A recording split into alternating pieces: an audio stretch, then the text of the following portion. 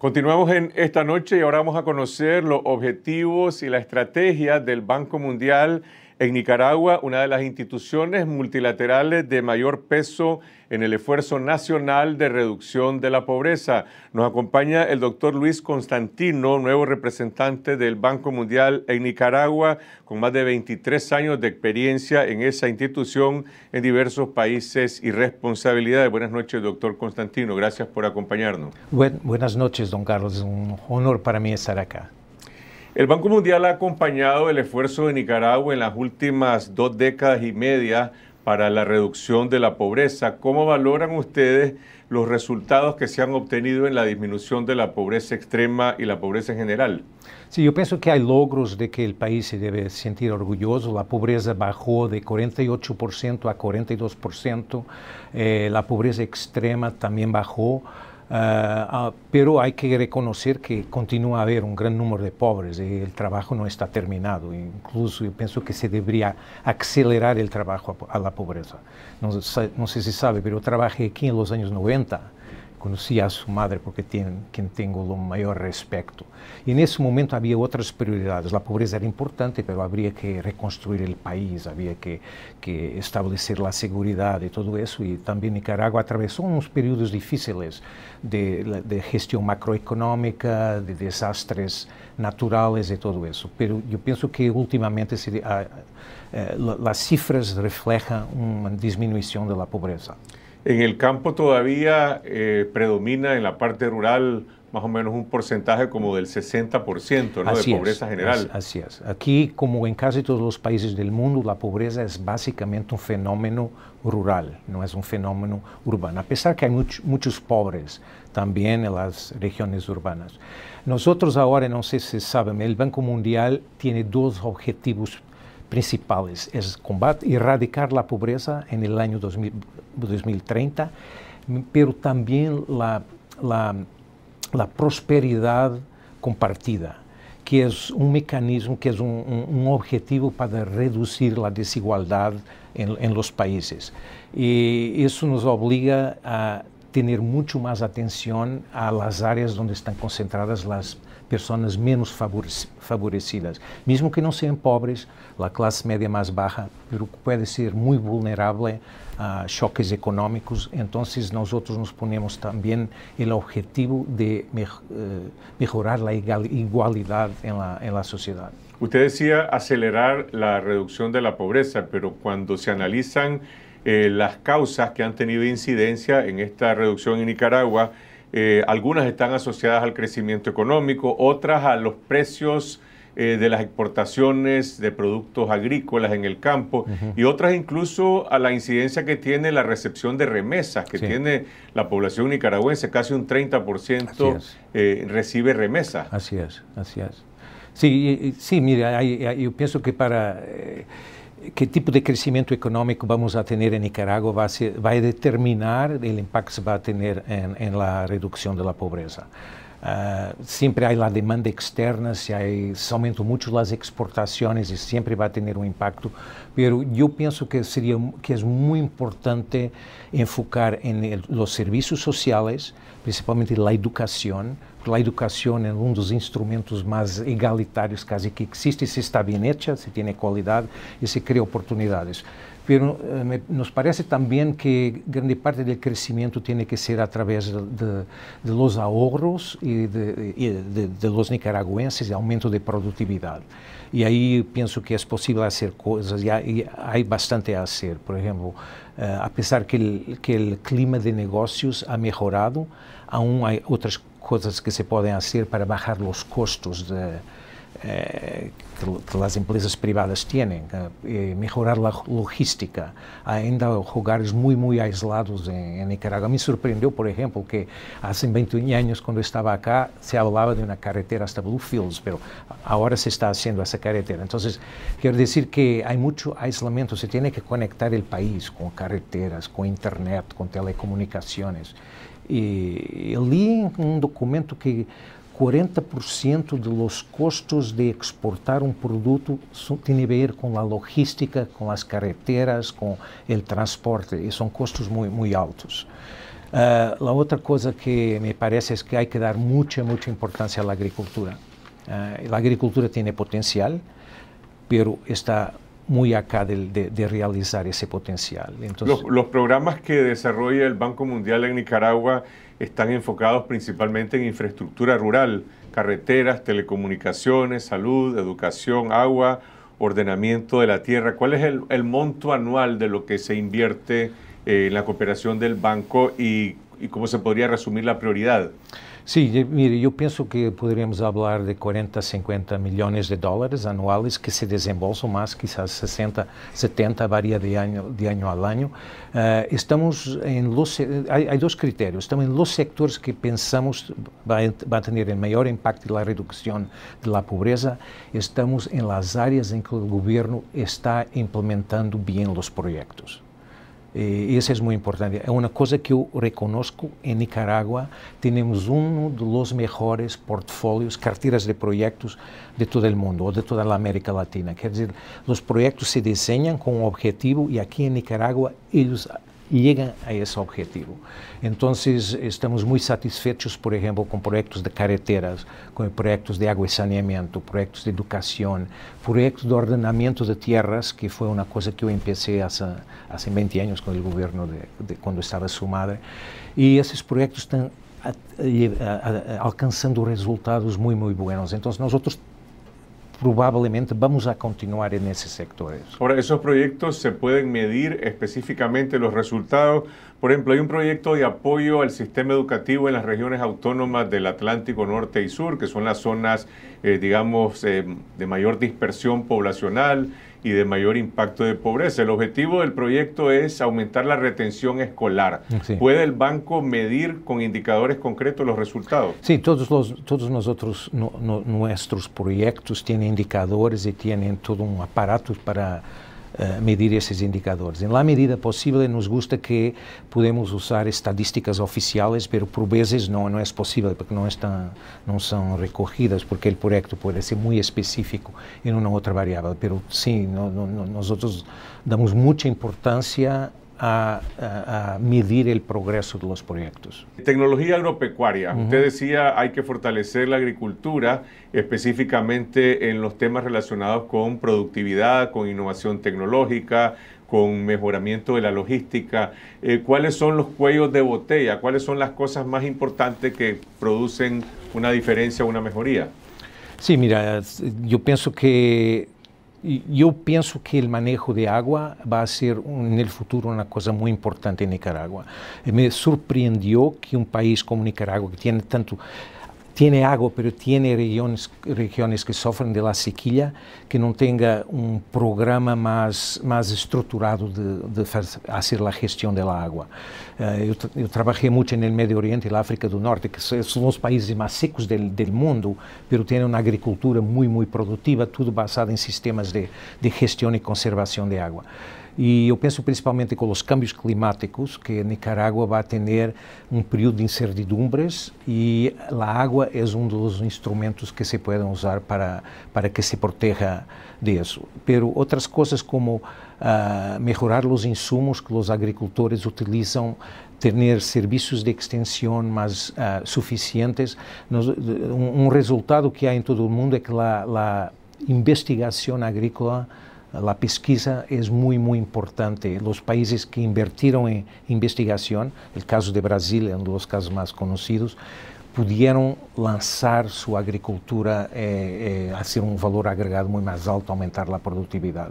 Entonces yo pienso que hay que trabajar a nivel de, de la producción pero hay también que conectar los productores con los mercados y hay que crear condiciones para más valor agregado. Quer dizer, las exportaciones eh, son de produtos muy poco transformados y yo pienso que hay, un, un, hay una, una, posibilidad de grande para lo agribusiness, para lo, la industria alimentar se desarrollar más en Nicaragua. Mire, yo pienso que, que que a demanda de alimentos no mundo vai continuar crescendo muito rapidamente. E, e, Nicarágua está muito bem posicionada, se toma as medidas necessárias para se aproveitar dessa, dessa expansão do mercado mundial de, por alimentos. Esta temática de la productividad y de la, del esfuerzo productivo, de alguna manera se ha visto opacada en el país por la expectativa de los grandes megaproyectos. Desde hace un año en Nicaragua se habla mucho del supuesto canal, eh, canal interoceánico. Eh, la empresa HKND eh, dijo que ellos habían tenido encuentros con autoridades del Banco Mundial, para, para darles avances de, de, este proyecto. ¿Ustedes tienen alguna consideración sobre la viabilidad que esto tendría en Nicaragua? No, en este momento no, porque no habíamos visto estudios uh, que nos den esa información. Mira, tenemos mucha experiencia con megaproyectos y hay megaproyectos que pueden ser buenos y que pueden ser transformadores, como poner si este proyecto funciona, puede poner Nicaragua en una nueva trayectoria de, de crecimiento más rápido. Pero eh, hay muchas maneras de hacer estas cosas, mucho, eh, que no, no son, hay muchos caminos que llegan a Roma. Y yo pienso que aquí es importante eh, primero mirar la justificación económica, los, los, los beneficios más y mayor con los costos o no. Hay que mirar la arquitectura del financiamiento que se va a utilizar. Hay que mirar los impactos sociales y los impactos ambientales. Pero para nosotros aún tan importante es asegurarse que todos os cidadãos nicaragüenses beneficiam do canal. E eu penso que há várias maneiras de chegar ao canal e que há que, por exemplo, se pode se pode seguir um, um sistema de construção do canal que emplea muitos uh, muitos trabalhadores locais ou pode ser que os trabalhadores se importem de outro país. São dois modelos diferentes. Eu penso que há que ter muita atenção a que los beneficios se queden, la mayor parte posible de los beneficios se queden en el país. Ahora, ustedes como Banco Mundial en algún momento van a realizar alguna especie de evaluación de esos estudios, de la viabilidad, una vez que sean presentados por estas empresas, supongo que por las implicaciones que pueden tener desde el punto de vista ambiental, desde el punto de vista económico, de que si este proyecto se va a hacer o no se va a hacer en Nicaragua. Sí, cambiaría completamente la lógica, así incluso es. macroeconómica así del país. Es, así es. Sí, yo pienso que si el gobierno nos solicita apoyo con, con, estudios, con supervisión de consultores que hagan los estudios, nosotros siempre estaríamos dispuestos, dispuestos a, a hacer eso. Pero, Una de las preguntas que se debate hoy en el país en relación con esto, que está basado todavía en muchos supuestos, es si será producto de un consorcio internacional o de empresas eh, chinas uh -huh. y qué implicaciones esto tiene a la hora de los compromisos que se establecen en el financiamiento. ¿no? Se habla de que la IFC, la Corporación Internacional del Banco Mundial, eh, tiene determinadas normas de uh -huh. salvaguardas ambientales que cuando los bancos otorgan préstamos para desarrollar este tipo de proyectos, tienen que regirse por determinadas normas, pero hay posiblemente China funciona bajo otro tipo de de premisas y de regulaciones. Eh, sí. ¿cómo, ¿Cómo funcionan estos mecanismos de la IFC?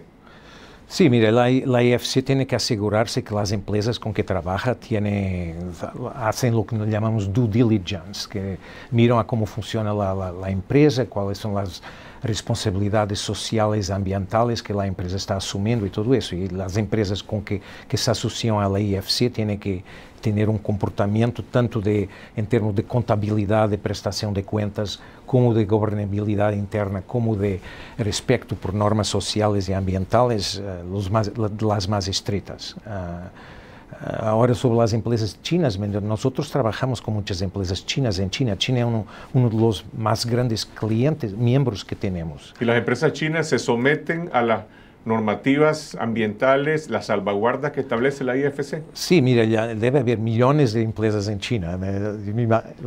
Las empresas con que la IFC trabaja, ciertamente.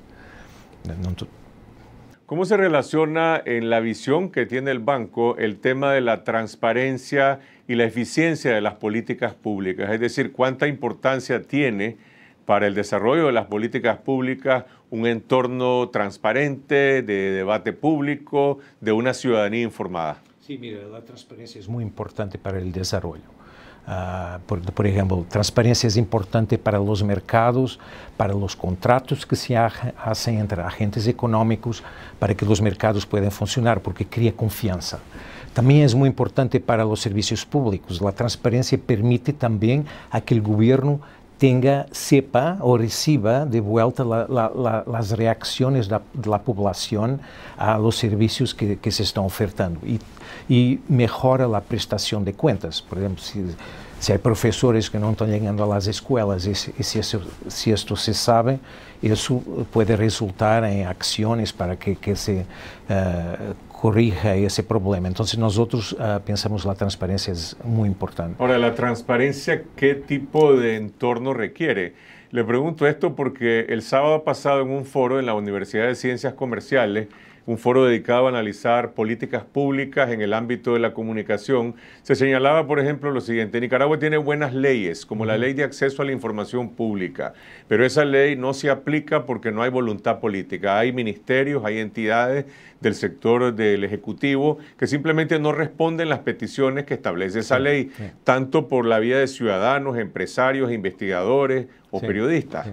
Sí, yo he visto eh, eh, he visto isso em outros países, por exemplo, a Índia, é, que não basta ser uma lei, é necessário implementar a lei. E isso normalmente demora tempo, porque cambiar de um sistema não transparente a um sistema não transparente é um grande esforço para os funcionários públicos, para as instituições.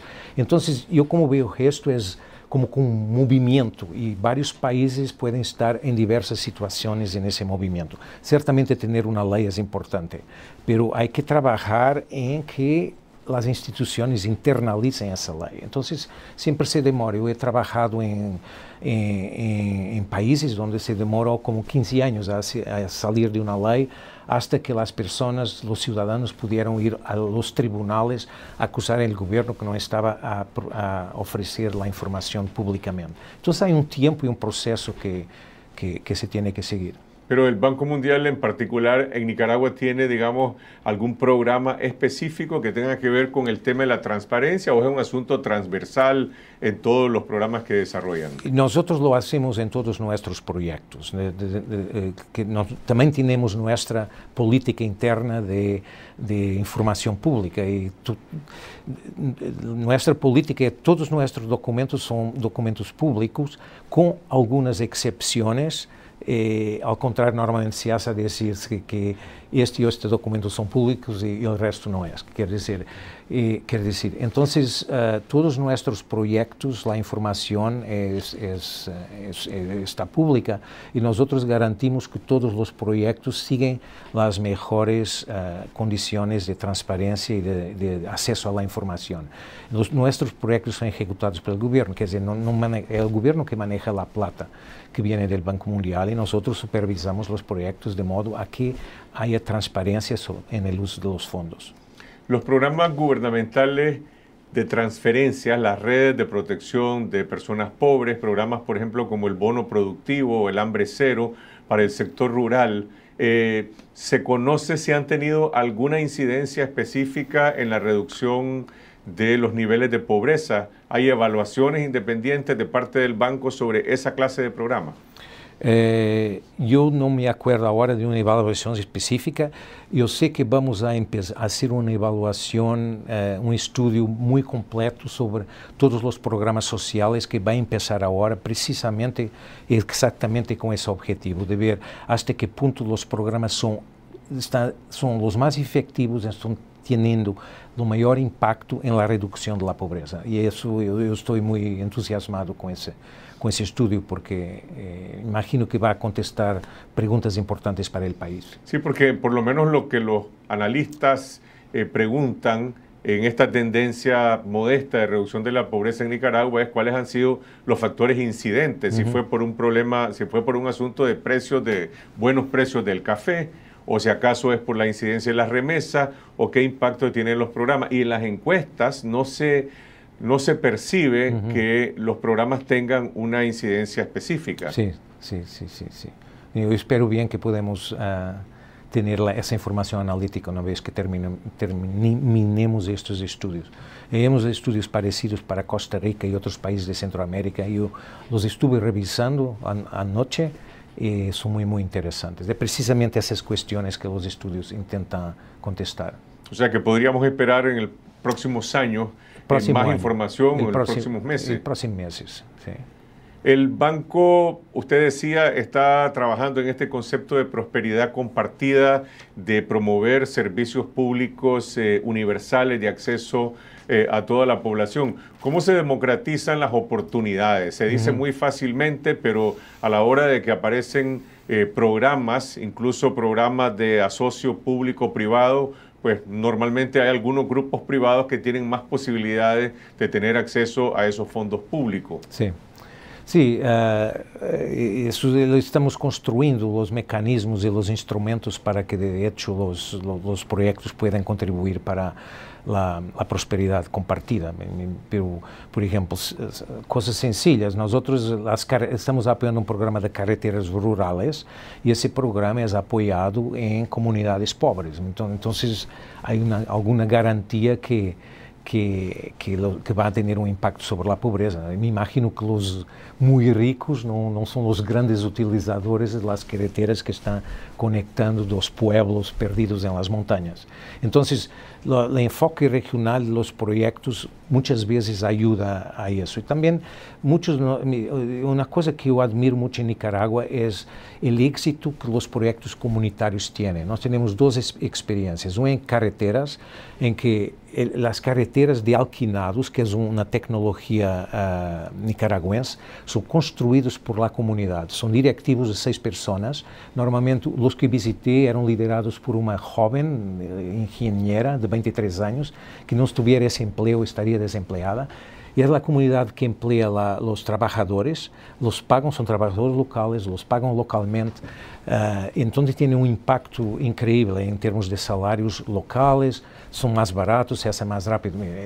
Isso não é um tipo de projeto que, grupos mais ricos de, de, Nicaragua estariam interessados em involucrar-se. Então, um pouco com a natureza do projeto e o enfoque regional, nós podemos uh, apuntar a determinados grupos. Esos proyectos de adoquinado que menciona tienen un, una evaluación de su rendimiento, me sí. refiero a, su, a la calidad de la construcción de esos proyectos. Sí, sí, Hace un par de años nosotros investigamos y publicamos algunos trabajos sobre algunos problemas que se presentaron uh -huh. en Jinotega. ¿no? Uh -huh. no sé si se puede hablar de eso como una tendencia general, pero un poco lo que se decía era, no hay duda que están generando empleo, pero hay, habían algunos problemas. Uh -huh en relación a la ejecución de las obras. Sí, sí, sí. Mira, las evaluaciones que tenemos son muy buenas. Siempre, estoy seguro que siempre hay uno u otro caso donde no funcionan bien, pero en términos generales es un proyecto de gran impacto, de bajo, bajo costos, uh, que se hace rápido, desembolsa muy rápido y principalmente que se están creando puestos de trabajo para la población local, que es muy importante. Usted decía que el banco tiene una meta para el 2030 de, de, reducción de pobreza a nivel global. Uh -huh. ¿Eso cómo se podría traducir en las estrategias nacionales de Nicaragua? Es decir, ¿estamos hablando de eliminación de la pobreza o de, o de reducción en un porcentaje específico? Eh, eu, eu penso que as últimas cifras que estávamos mirando era reducir a 3%, que é um número muito, muito chiquito, porque sempre é difícil chegar aos últimos... Uh, última gente muy pobre, entonces hay una pequeña margen, pero básicamente es una gran reducción, prácticamente eliminar la, la pobreza. Es una, una, meta muy ambiciosa, pero... Esa es la meta del banco a nivel global. A nivel global. Sí. O sea que eso debería de, debería de traducirse en, la, en por lo menos en, en, el caso de Nicaragua, en el esfuerzo nacional. Así es, así es. Así es. Ahora, ¿qué niveles de crecimiento económico se requieren para lograr esos resultados yo, yo pienso, o qué niveles de transferencias sí, en políticas sociales se sí, necesitan. Sí. Yo pienso que es, que es necesario a, a acelerar el crecimiento económico. Uh, Nicaragua está creciendo a 4, 4,5%. Sería bueno si lo pudiera uh, uh, aumentar hasta los 6%, 6,5%. Uh, e, e eu penso que em termos de serviços públicos haveria que trabalhar muito com a educação.